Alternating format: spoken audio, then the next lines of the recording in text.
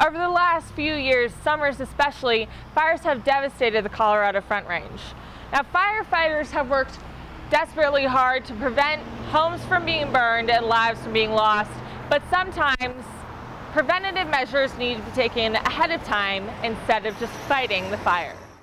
Unlike other natural hazards, we primarily fight fire rather than learning to adapt to it.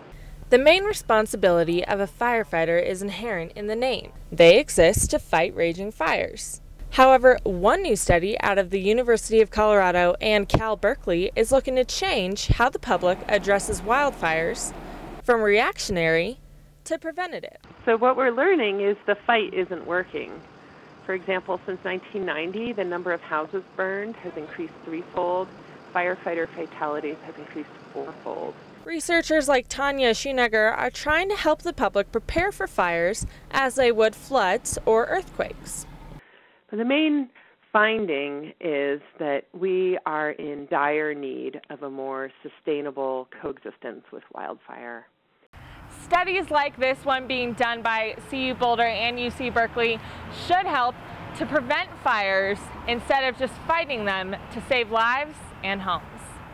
Allie Levine, News Team Boulder.